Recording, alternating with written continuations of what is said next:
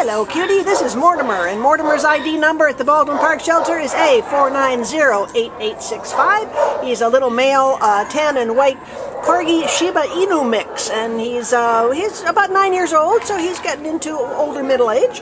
Came to the shelter as a stray on January 2nd out of San Gabriel, and he weighs a very svelte 14 pounds.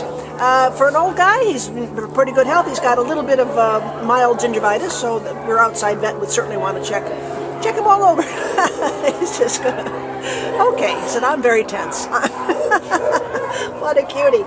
Uh, he walks really well on a leash. He's very energetic and alert and inquisitive. Uh, just he likes other dogs and he likes people. He's just, you know, perfect dog. He's going to be a great family pet, especially for somebody who appreciate the benefits of a mature guy although he doesn't act that mature, you kind of act puppyish. You're a very cute boy. He's really sweetheart. Oh, I love the way he looks. He really does look like a Shiba Inu, doesn't he? He's a doll. So come on down to me. and he says, okay, I'm done. I'm going to go play. Stop it. come on down and meet Mortimer. He's available at the Baldwin Park Shelter right now. You can come and fall in love with him and take him home. Bye, baby.